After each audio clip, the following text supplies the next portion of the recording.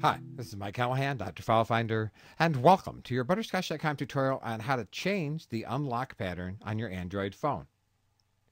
So we're on the Android phone. If you've set up an unlock pattern, you may want to change it. So here we are. We're going to have to put in our unlock pattern. And when we do, the phone's unlocked. Now to change it, tap on Settings. When you get into Settings, tap on Location and Security.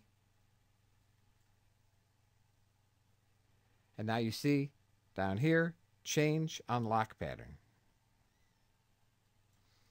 Now, in order to change the unlock pattern, you first have to put in your current unlock pattern. So we'll do that.